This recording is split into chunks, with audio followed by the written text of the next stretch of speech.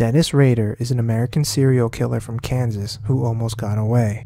He dubbed himself the BTK Killer, short for Bind, Torture, and Kill.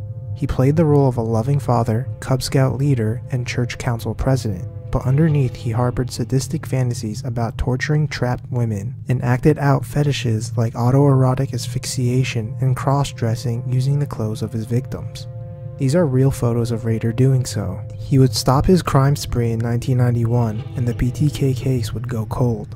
However, his own hubris would lead to his downfall as he began taunting the police with letters in 2004, prompting them to open up the case again, leading to his arrest.